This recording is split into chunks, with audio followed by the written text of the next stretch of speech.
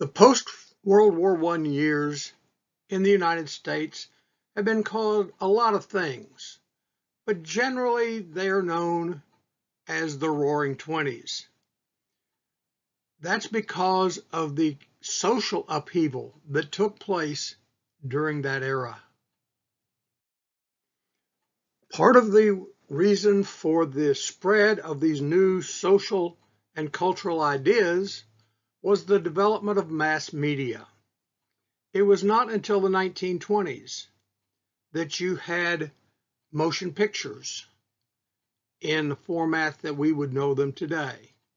It was not until the 1920s that you had radio that was nationally broadcast.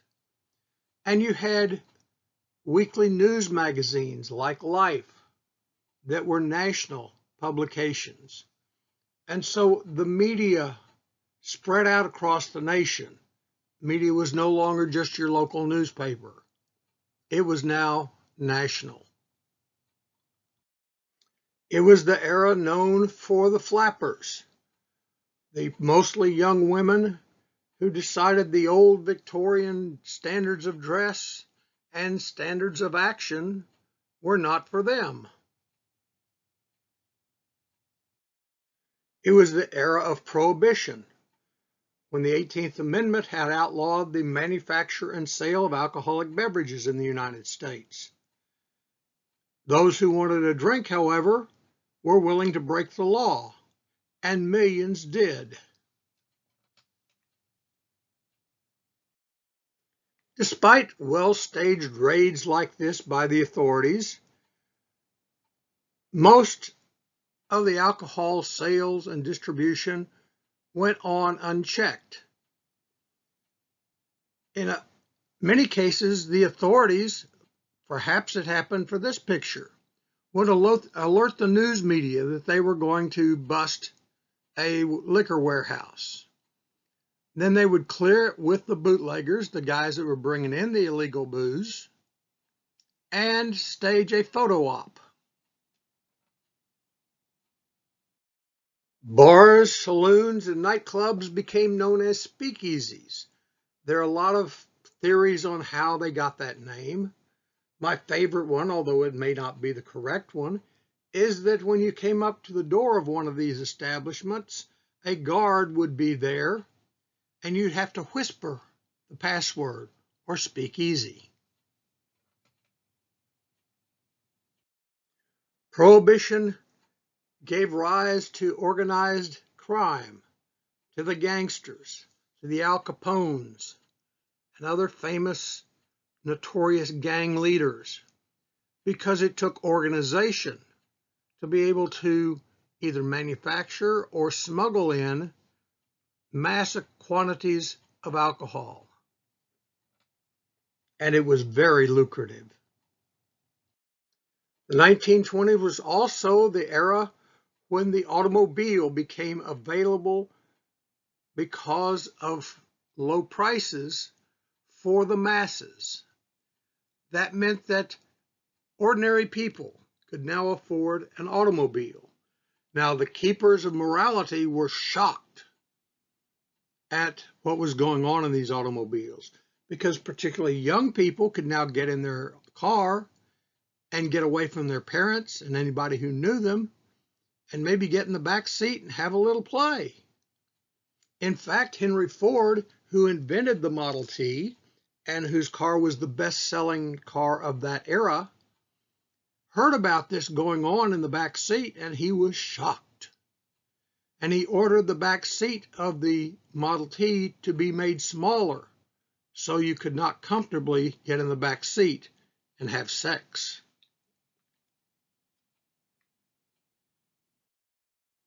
Women, many of whom had worked in jobs replacing men during World War I, found new ways of self-expression, not just their dress as flappers or whatever, but also with being able to go out and publicly go into a speakeasy.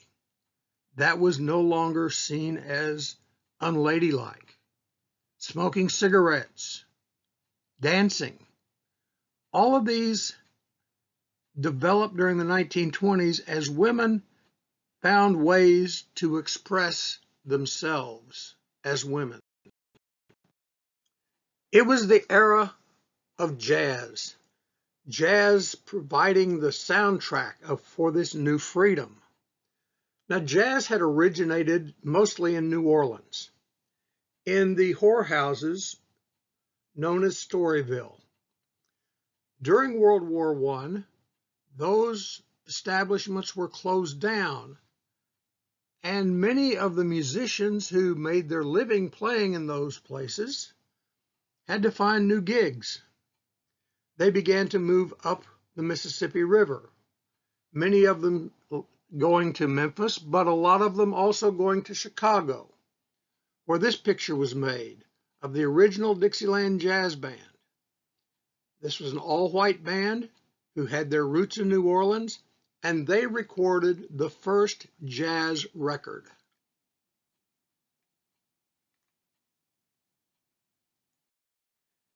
King Oliver's original jazz band also made its way from New Orleans to Chicago. They became the most famous jazz band of the early 20s. You'll notice a difference between them and the original jazz band that I showed you a minute ago. King Oliver's band was black. And in fact, it was King Oliver who sent for a young boy from New Orleans who used to follow him around and get, get trumpet lessons from him. He needed another trumpeter in his band in Chicago, so he sent for this boy from, from New Orleans. The young man packed his suitcase, took a train, ended up in Chicago playing for King Oliver. That young boy was Louis Armstrong, who became one of the most famous American musicians of all time. A jazz trumpeter, a singer, an actor, and an ambassador for American music all over the world.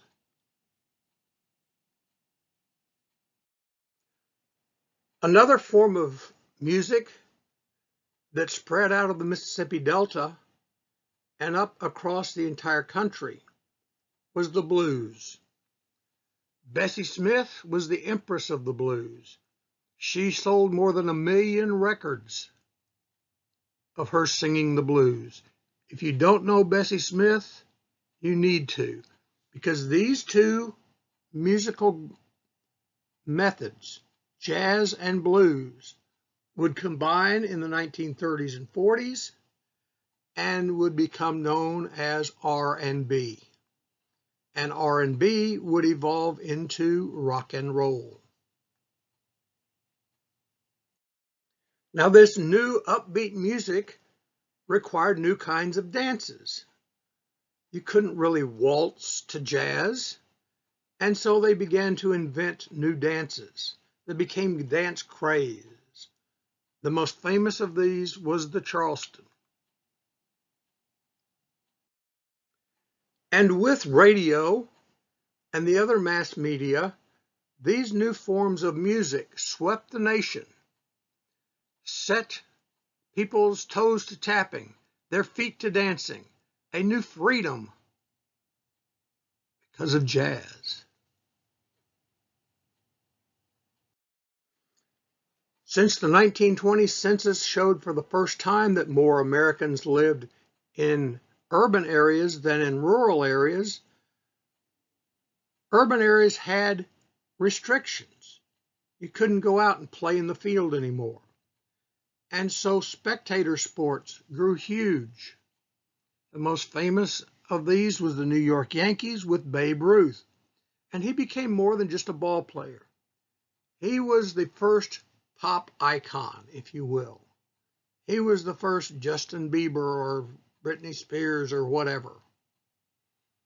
He was known much more than just as a baseball player. Another pop icon that emerged in the 1920s and became a national hero was a young man named Charles Lindbergh. He became famous because he, in his plane, the Spirit of St. Louis, became the first person to fly solo across the Atlantic Ocean. Started in New Jersey, I believe it was, landed outside of Paris, all by himself. Now, this was before they had navigation tools and everything else. Basically, he had to stay awake the whole time so he wouldn't get off course.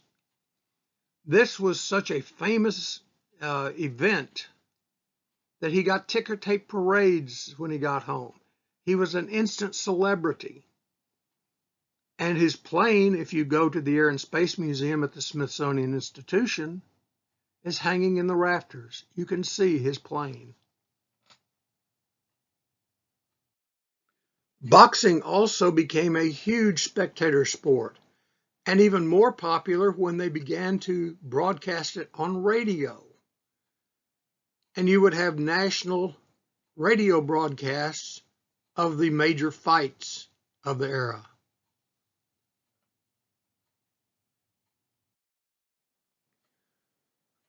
Politics did play a role in the 1920s not as visibly as the cultural stuff, however.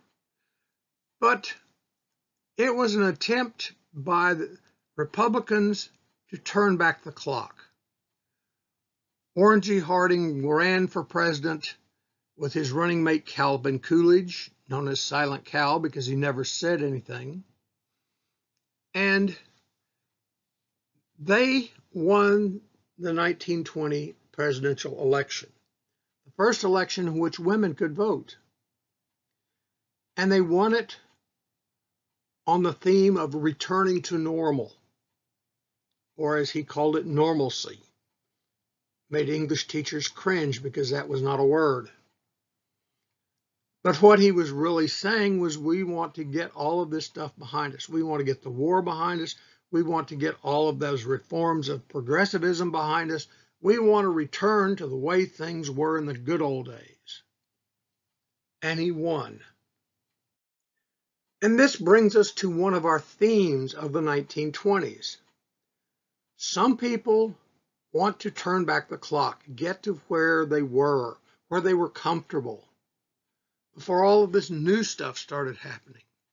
A return to normalcy, as Harding called it. And that was one part of the society. However, one part of getting back to politics as normal was the re-empowerment of the political machines and the political bosses. Harding had been the governor of Ohio, and he brought with him to Washington some of his buddies from Ohio and he put them in political jobs, Secretary of Interior, all those kinds of positions. And while he was carrying on as normal, for instance, hosting poker games at the White House, where the bootlegger would bring in the beer and the uh, whiskey for his poker playing buddies, they were also trying to profit for themselves. That had been the 19th century tradition. Politicians went into politics to get rich through graft, through uh, kickbacks, through looting the public purse. That was the reason one went into politics. That had changed somewhat during the 1900s, during the Progressive Era. But now it came back with a vengeance with these guys that Harding brought with him from Ohio. And they began to get caught. The most famous of these scandals was the Teapot Dome scandal, where the Secretary of the Interior was caught selling government oil to the oil companies and pocketing the money. So a return to normal was not all it was cracked up to be, at least for those guys that landed in jail. Now, there was never any indication Harding knew what was going on, that he was pocketing money, but his guys that he brought in with him certainly did. Now, one last gasp of progressivism happened during the 1920s. It was called the Washington Naval Conferences. You'll recall that one of Wilson's 14 points was to try disarmament rather than having an arms race. And the world decided to try that at the Washington conferences. And so a series of treaties among the various nations of the world were signed pledging to scrap their military hardware. So here you see a picture, for example, of one of the American battleships being torn up and sold off for scrap disarmament rather than an arms race. While the politicians were trying to return to the good old days when government stayed out of business, when businesses were free to do whatever they wanted to, no regulation, that sort of thing. The rest of the country was reacting to what they had expected to happen as a result of World War I, but which hadn't happened. You remember that the reason, one of the reasons that Wilson stated for going to war was to make the world safe for democracy. But after World War I, was the world becoming more democratic? No. The American people saw the Russian Revolution and the emergence of a dictatorship under a communist form of government, the complete enemy of capitalism. They saw the Irish rebel against occupation by Great Britain, and a war broke out between England and the Irish. Certainly, this was not what Wilson had envisioned a world at peace.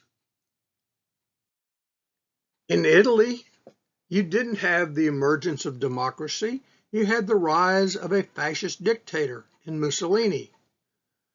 The world seemed to be turning to dictators rather than democracy. But the American people had been promised that if we go to war, it will be to spread democracy. And so their expectations were not being fulfilled. This led to disillusionment and the American people saying, hey, it's not worth it. I'm not even going to try anymore. On the home front, workers who felt like they had not shared in the riches that their companies had enjoyed because of government contracts during the war began to strike. There were thousands of strikes uh, with the workers demanding their share of the profits. And some of these turned violent. There was upheaval in the streets as workers struck to try to get more money. But these strikes were happening at the same time that you had the communists taking over Russia. And part of the Communist Manifesto is that there will be worldwide revolution that will turn capitalist countries into communist countries. That was what part of what Karl Marx wrote in Das Kapital. And so when the workers began to rise up, some of them were socialists. Some of them were communists but the vast majority were not. They were just seeking to get pay increases since their wages had been frozen during the war. But the industry leaders began to use an old tactic. They said all of this trouble that was being caused by the unions was really the communists trying to take over America. Now, Russia had nothing to do with this.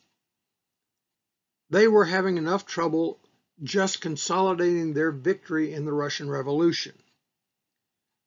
But the industrial leaders and some political leaders were successful in painting these workers who were trying to unionize, trying to strike for better wages, as part of the communist conspiracy to take over the world.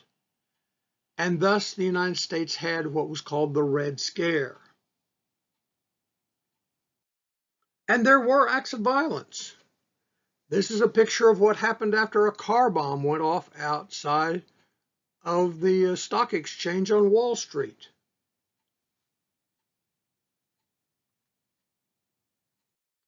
But those who wanted to paint everything that working men, labor unions were trying to do as bad, those who wanted to paint any kind of civil disobedience as bad blamed it on the communists. So anytime anything went wrong, anytime people started to organize to try to change things, they were immediately labeled communists. And so it became a fairly common belief that communism was by, behind anybody who dared speak out against the status quo. This also led to what became known as Palmer raids. Palmer raids were raids on suspected communists Mitchell Palmer was the Attorney General, and he organized a special unit within the Justice Department. And he put a young man without any previous law enforcement experience in charge of it. Their duty was to round up suspected communists, either throw them in jail or deport them. And that's what they did. They broke into newspapers, for example, that supported a socialist viewpoint. And they would wreck all of the uh, equipment, arrest the publishers. Clearly a violation of the First Amendment. But that's how afraid of communism Americans were during the Red Scare. Oh, and by the way, that young man who was put in charge of that special unit in the Justice Department, his name was J. Edgar Hoover, and that special department he was in charge of became known as the FBI. And they were able to round up and deport people like Emma Goldman. Now, Emma had several strikes against her. Number one, she was Jewish. Number two, she was an immigrant. Number three, she was a socialist. And number four, she believed that women should be able to have sex, whether they were married or not. In fact, she distributed literature on contraception. Well, four strikes and she's out of the country. They rounded her up, put her on a mock trial, and just put her on a boat. She was gone. Two laborers were not so lucky. Sacco and Vanzetti lived in a neighborhood where a murder took place, but because they were known to be in favor of labor unions, they were therefore agitators. And with no evidence, they were arrested for this murder that took place in their neighborhood. And with no evidence, they were convicted and executed. That's how fearsome this fear of the of communism and of foreign influence was in the United States during the 1920s. Another example of this trying to get back to the good old days that was part of the 1920s was the rise of evangelist preachers, the rise of fundamentalism. One of the leading um, members of this group was Aimee Semple McPherson. She established a large tabernacle in Los Angeles where she would pray and where she would cast out illness and demons by laying on of hands. And she used modern technology like loudspeakers so she could have a bigger church, like the radio to spread her message.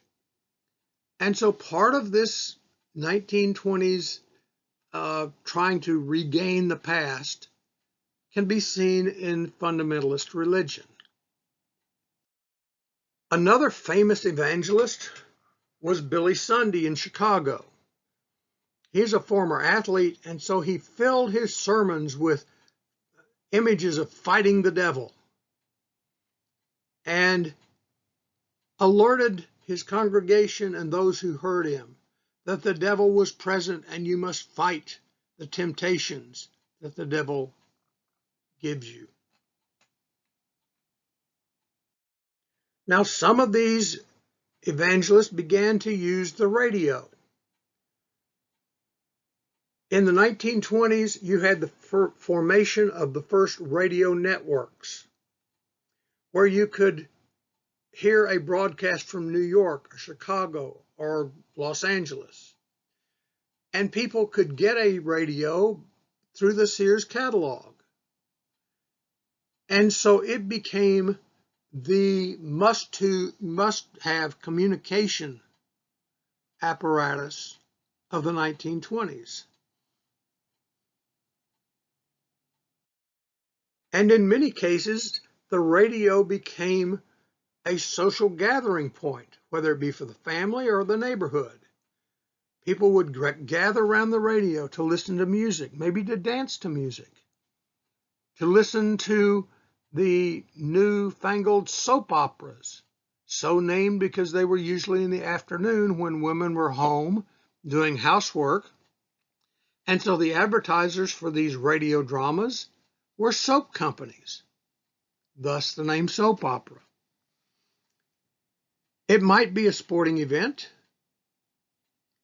but the point is that the radio became the instant for many Americans. And you could listen wherever you were. I remember talking to my mom. She grew up in a little town called Muleshoe, Texas, which is out between Lubbock and Clovis, New Mexico, in the middle of nowhere, believe me. But she remembers gather the family gathering around to listen to the radio. It was a family evening. That was the entertainment. That was the source of news. And so you get a national media that can touch virtually any place in the country. And when my mother was sitting there in Muleshoe, Texas, listening to her radio, she was hearing programming from New York. She was hearing jazz from Chicago. And so the whole country was being invaded by these new images, these new forms of music, these new ideas. That helped to spread the more modern point of view. The mail order catalogs became huge because now you didn't have to live in a city and go to the store to get stuff. Think of these as Amazons uh, in print form.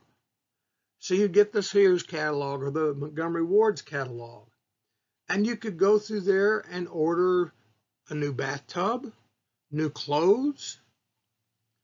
You could even buy a prefab house that would be delivered to you in pieces and you would then erect it.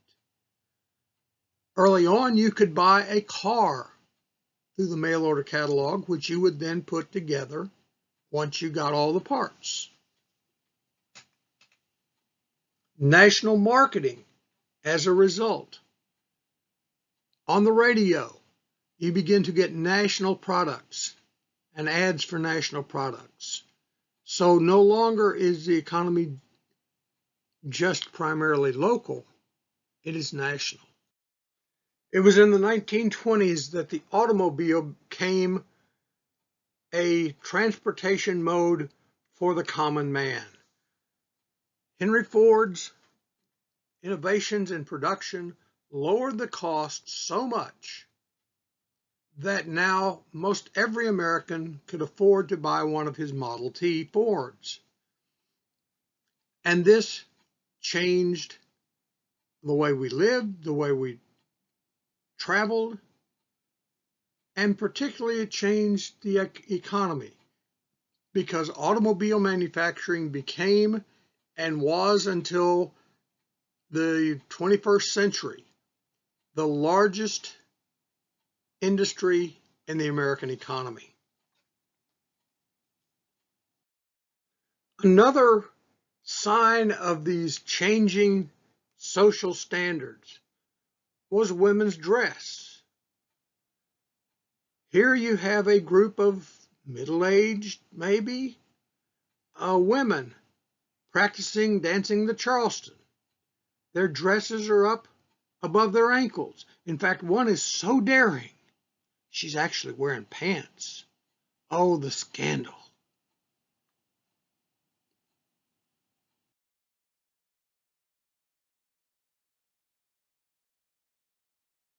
So how much did the standards change? Take a look at these two pictures. 1893, the young woman on the left, in her corset, in her dress that goes to her ankles, in sleeves below her elbows. But by 1925, look at the mode of dress. Short sleeves, short skirts, no corset. And this woman in 1925 was not in some fancy New York or Chicago or LA.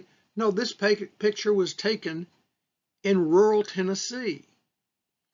That's how much the social climate had changed in just a few years. Another event that helped change the social climate was known as the Great Migration. This is when somewhere in the neighborhood of a million African Americans fled the South, moved into the North, and particularly northern cities where they could find industrial work. This began during the war. And so they moved to Detroit, Chicago, Milwaukee, and they were still segregated. They were still discriminated against. They were segregated in that they had to live in certain parts of town. But in those towns, or in those segments of towns where African Americans lived, they were able to bring a thriving culture. In fact, that's where King uh, uh King Oliver was. His jazz band was in a black honky tonk in Chicago, but the word got around and whites became uh, customers and began to buy his records. And African Americans were finding jobs in northern industry. They were taking their place alongside whites on the assembly lines, getting paid a regular wage.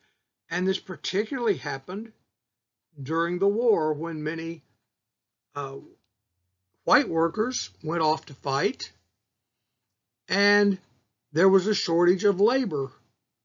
And so African Americans were able to get those jobs. That's not to say that African Americans did not fight. They did.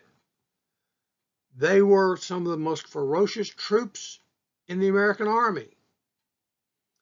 And they were fighting for democracy, to make the world safe for democracy. But when they got home, they started fighting for democracy at home, for themselves. And African American troops made sacrifices in the war. Wounded, killed, but they served. And this gave them a new attitude as they headed home. In fact, it was a black troop that the Germans feared the most. The Germans named them the Hellfighters because they were so ferocious in battle. They were so effective that the government of France gave them the highest military honor, the Croix de Guerre, to the 369th Colored Regiment. So as these black troops came home, or as the black factory workers had started to enjoy the fruits of a steady job, white America rose up, determined to return things to the way they were before the war. And so you had a tremendous surge in racism and in terrorism.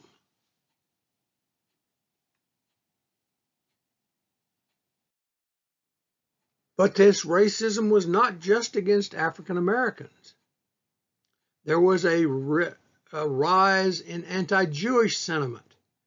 And one of the leaders of that was Henry Ford, who was a notorious anti Semite. And his company newspaper, the Dearborn Independent, which all Ford dealerships were required to give away, contained rants about the problem the Jews were causing in the world. So, for those who were looking to turn back the clock, you had a return of nativism.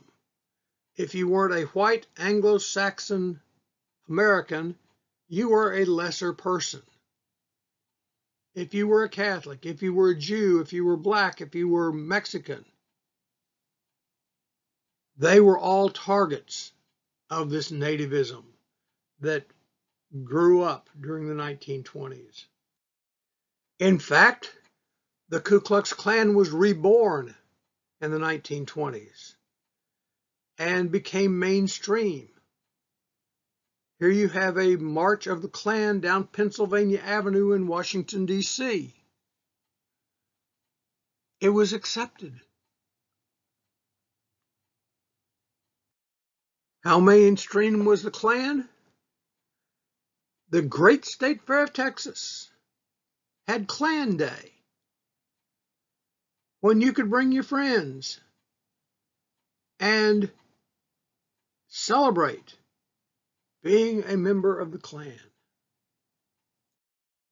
The Fort Worth Klan was very visible during the 1920s, posing for this picture in their uniforms, saying they were for God and country.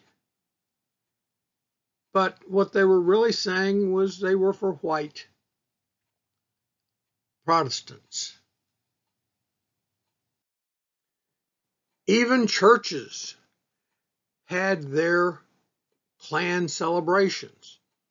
Here you have a minister welcoming members of the Klan to his service and preaching about how Jesus saved, at least I guess in this case, saved white folks.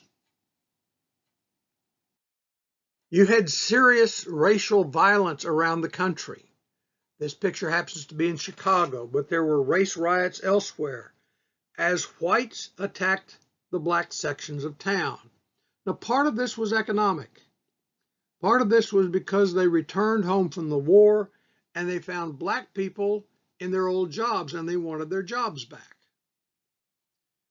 And so it was a big uh, attempt to push African Americans in particular back into the subservient role that they had had before the war, before they had been war heroes, and forced them out of those jobs that they had come north to get. And in most cases, the whites were successful.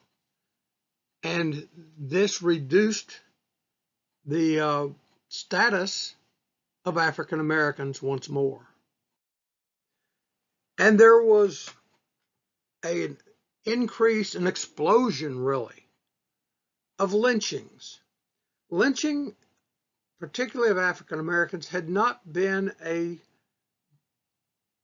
popular practice during the slavery era, during the Civil War, until the 1920s, when the Klan began to use it as a form of terrorism.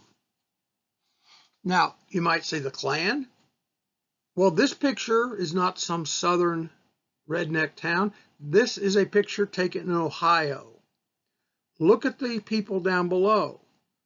The couple on the left, for example. Hey, let's go have a date and go watch the lynching. That's how acceptable it was. And no white person was ever convicted of killing a black person. That's just the way things were. It wasn't right, particularly by our standards today. But that's what African Americans, when they refer to the inequities in America, this is part of the roots of that. This lynching.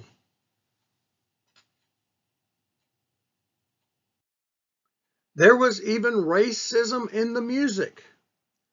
I've given you here two examples of people singing the same song or playing the same song. The St. Louis Blues. Bessie Smith sang the blues version of it. The Paul Whiteman Orchestra is playing the white version of it, which is more like a pop song than the blues.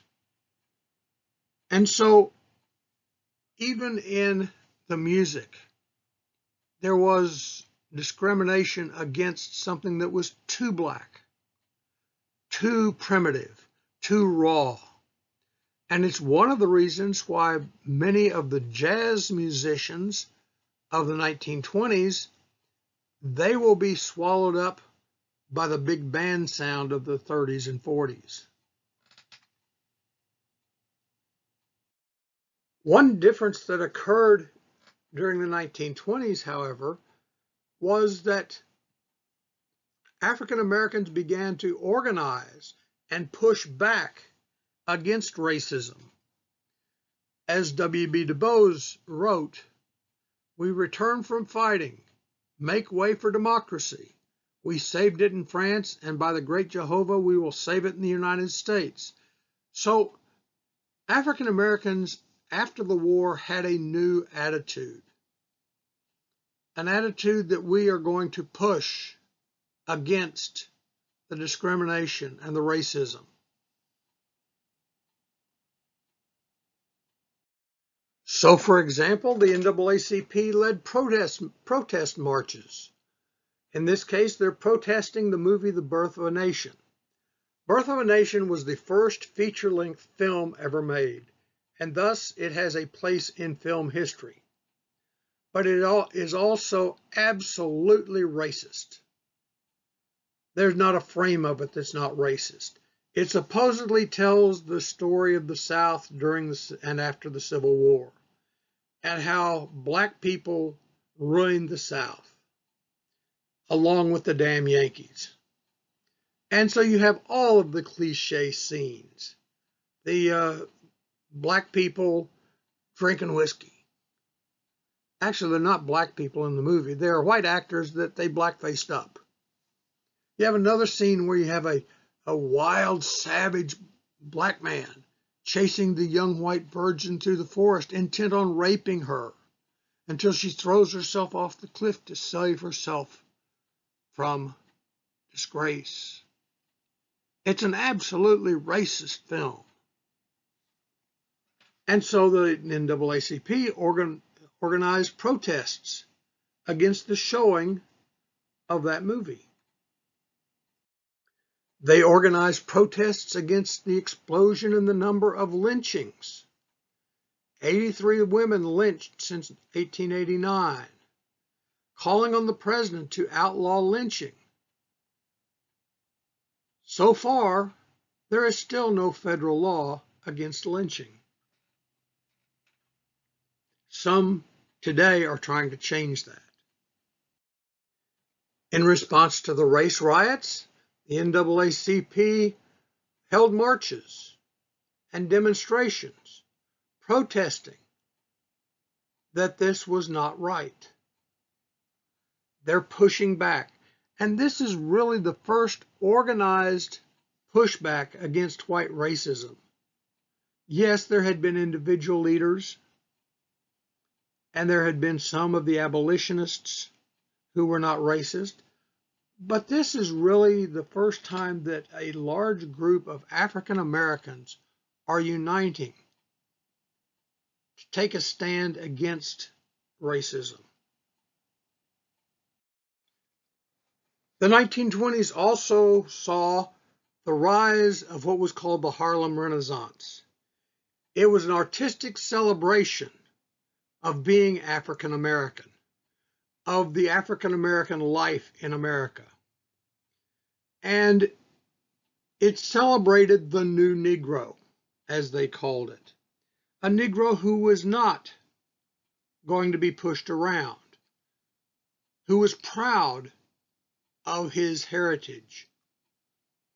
And many of the artistic expressions of the Harlem Renaissance talk about black pride and how it's not something to be uh, looked down on, but being black is something to be proud of.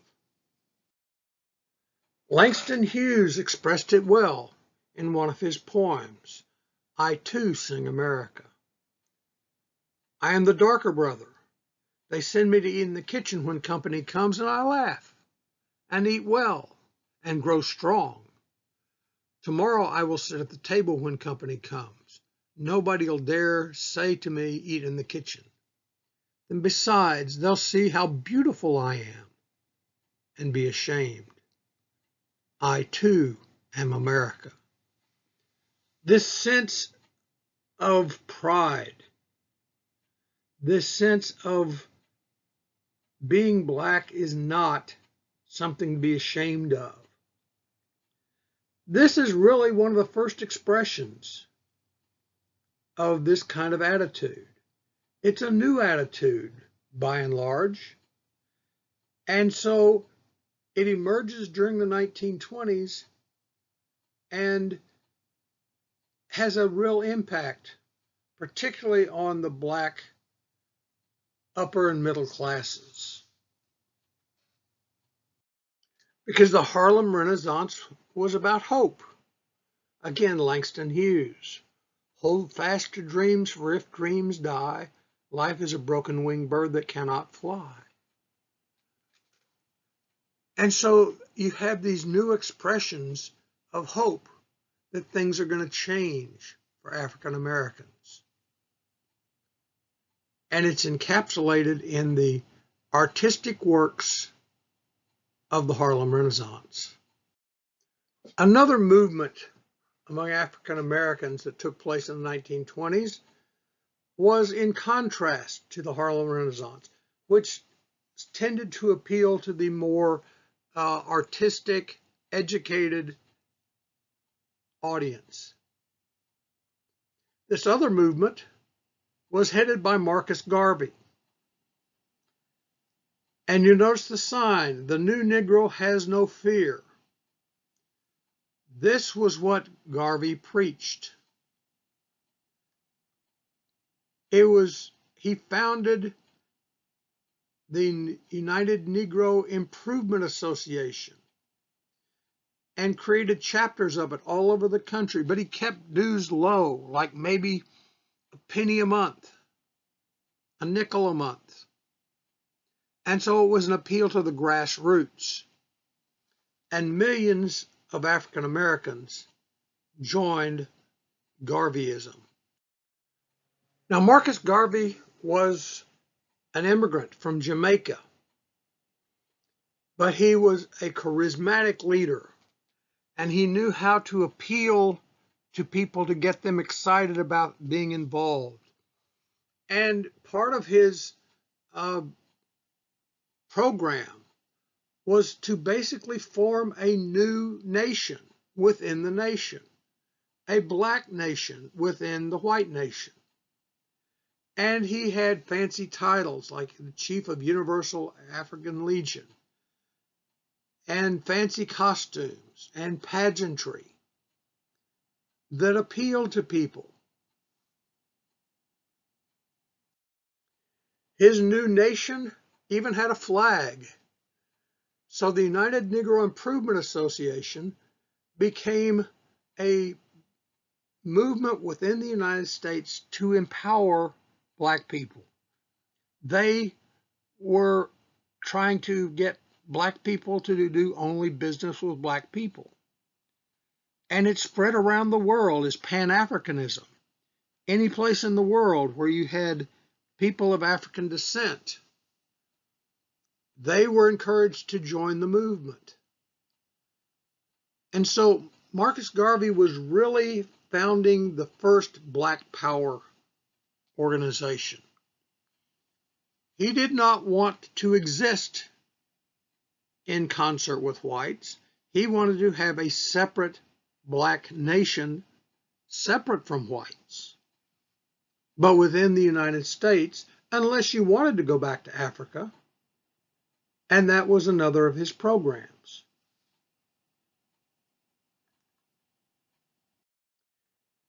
In fact, it was one of the entrepreneurial ventures of the UNIA that ultimately was Garvey's downfall.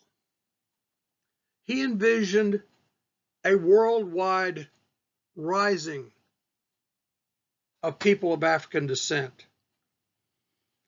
And he formed a steamship line, the Black Star Line, with the express purpose of taking people back to Africa if they wanted to go, and of trading with countries that were governed by people of African descent. So it was black to black business.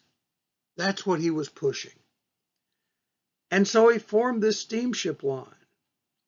Unfortunately, he was a much better uh, leader than he was businessman. And so his business people put out a, uh, a mailing, a letter to members, encouraging them to invest in the Black Star Steamship Line. And it was capitalized for $500,000. But so many of his followers wanted to buy stock that they ended up sell, selling about $1.5 million worth of stock. And that gave the authorities the power to pounce because they had broken the law. It was mail fraud. And Garvey was to blame, although Garvey more than likely didn't even know what was going on. But he took the fall because whites were getting a little um, nervous about this black power stuff. And so when they got the opportunity to get rid of Marcus Garvey, they did. They convicted him of mail fraud. He was originally sent to the federal penitentiary in Atlanta. And ultimately, because he was an immigrant, he was deported back to Jamaica.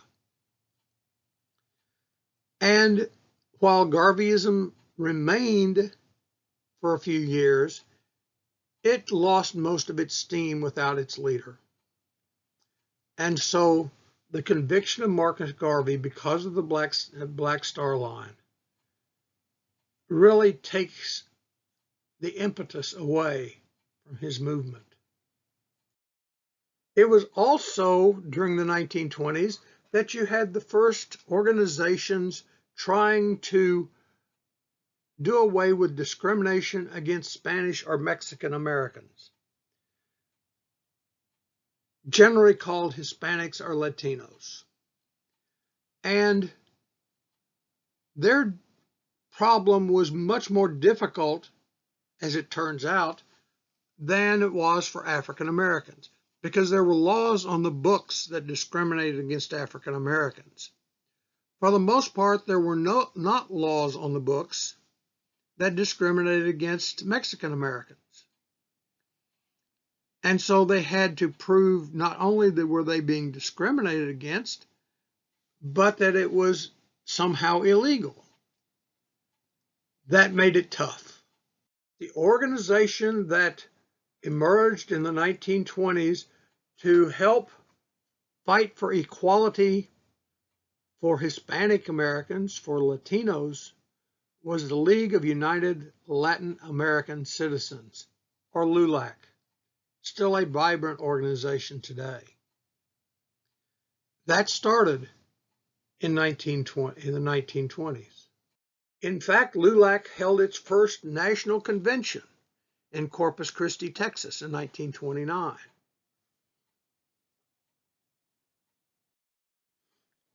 And LULAC emerged then as a united voice against discrimination for people of Latin descent.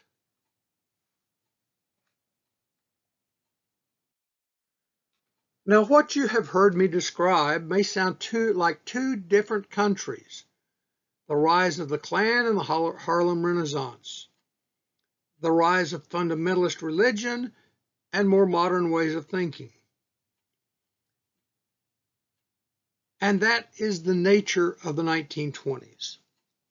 I often think of it like a trapeze artist. You've all seen trapeze artists where they swing out from their platform on their trapeze, they let go, they catch the next trapeze and swing to the next side. Except in the 1920s, what the American public was more like was about a third of them would swing out and be afraid to let go, and they would hang on and they would swing backwards, trying to recapture the past. Some would swing out and let go and have the freedom and catch on and move on. But the vast majority of Americans probably were caught someplace in between. It'd be kind of like they swung out and they held on to the old with one hand and they reached for the new with the other hand. That's what was going on in the 1920s. It was kind of schizophrenic. We were two nations, and you had people in the middle trying to do some of each. And that's what makes the 1920s so confusing. But let me, in closing, give you two examples of these two factions that are battling for American society. The first is Henry Ford. Henry Ford's Model T revolutionized the automobile industry. His use of the moving assembly line, the, the use of interchangeable parts, all of these improvements in production allowed him to make a car more cheaply than anybody else.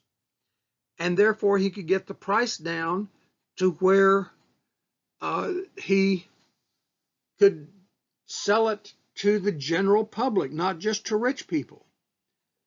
And so he was, his assembly line and the low cost of automobiles just made automobile use explode and change the country forever.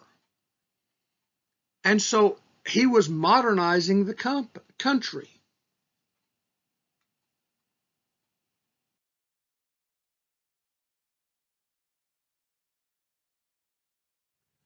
But at the same time, his car was modernizing the country.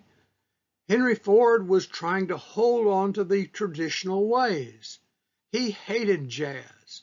He blamed it on the Jews. I mentioned that he had the size of the back seats in his Model Ts reduced so it would not be comfortable for people to have sex in them. He even had morals police working for his company. And any employee, no matter when, could not drink alcohol, for example. And his spies would go around, and if they caught you drinking, even in your own home, you were fired immediately. He collected a complete set of the McGuffey's readers. Remember we talked about how those were teaching the old concepts of social Darwinism and of laissez-faire and of hard work and thrift and personal uh, discipline. That's what he believed. Another example of Henry Ford, this kind of split personality. Up in Massachusetts, one of the old inns where the Sons of Liberty used to meet to plan the American Revolution had fallen into disrepair and it was going to be torn down. But he, oh no, that can't be torn down. So he bought it and he had it re- restored. But the problem was that there was this highway running right close beside this inn. And it spoiled that the uh, atmosphere of an old country inn. And so he paid the state of Massachusetts a million dollars to move that road so it wouldn't interfere with his restoration of the past. But what was it that was driving on those roads? It was his cars. And so the duality, the schizophrenia, right here in one man, Henry Ford. So do we say Henry Ford was a great man or a great villain? He certainly was intolerant. He was certainly set in trying to hold on to the old traditional ways, but yet his business achievements were making it impossible to go back to the way things were. This is the tension. This is the duality of the 1920s. One more example of this combat between the traditional and the modern can be seen in the Scopes trial, the so-called monkey trials held in Dayton, Tennessee. And it is kind of in a nutshell a battle between the old ways of thinking and the modern ways of thinking. Every day on the way to the courthouse, the participants walked under a sign that said, Read your Bible.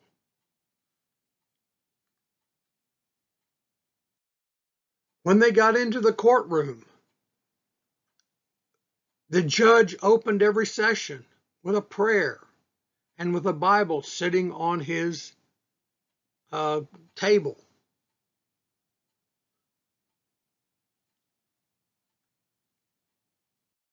So the court was obviously biased because the case was about whether or not the biblical version of the creation of man and the world was literally accurate or not, or whether a more modern view of evolution should be taught.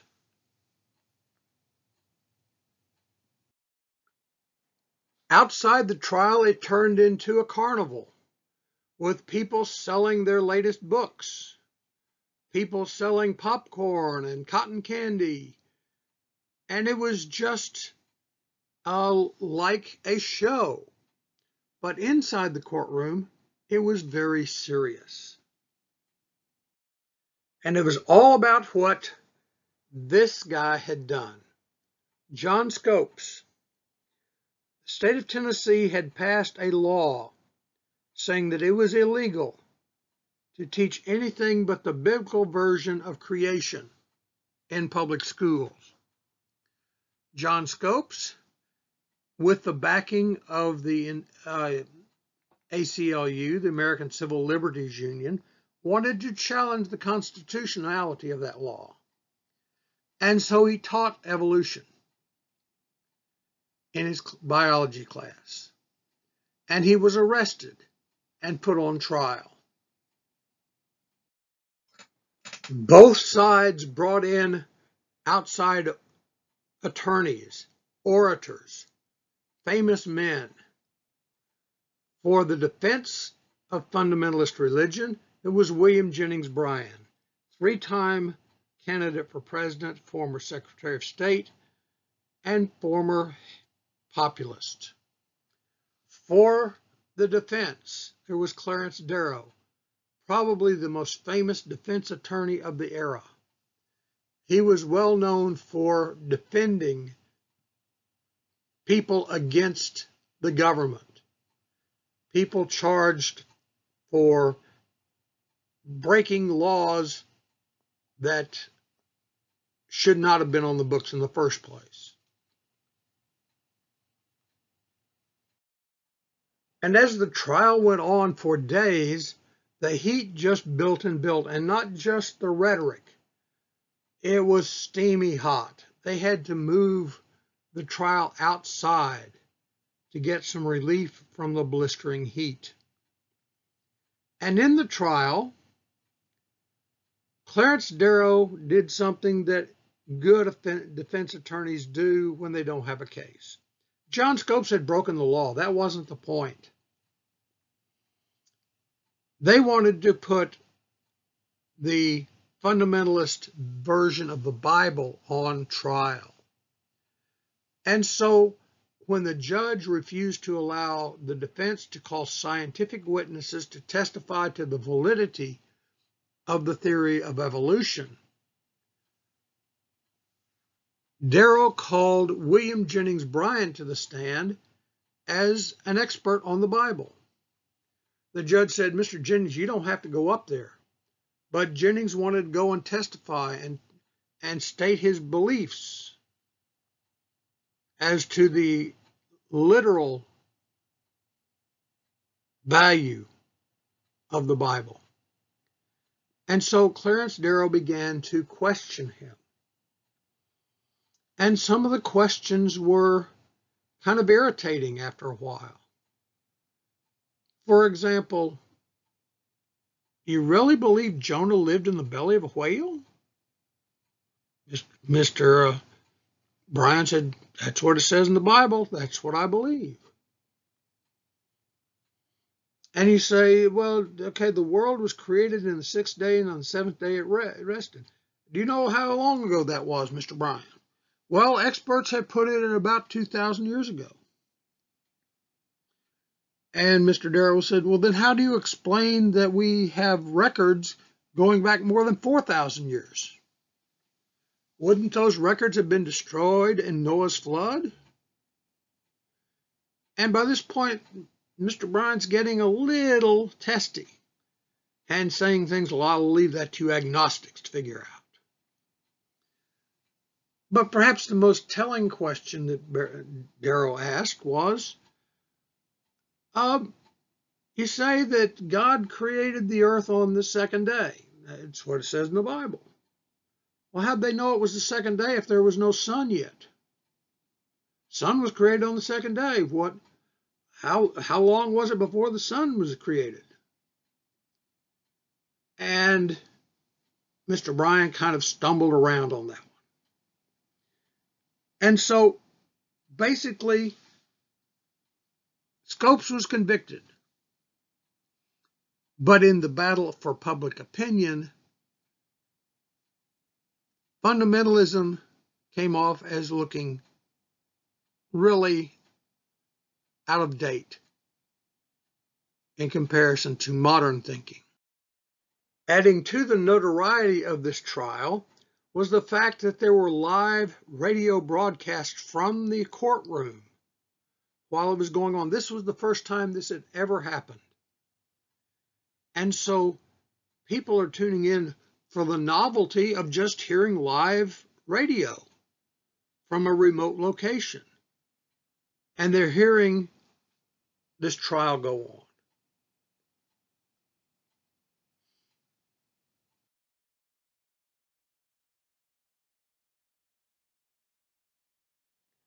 So here, once again, we had what is the essence of the 1920s. Some people trying to hang on to the old belief systems. some people embracing the modern belief systems.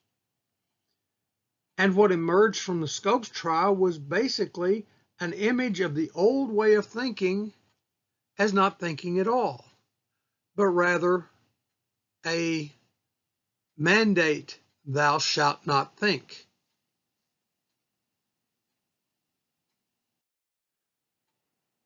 But the time when people could worry about such social issues came crashing down with the stock market in 1929, which plunged the nation to, into the Great Depression.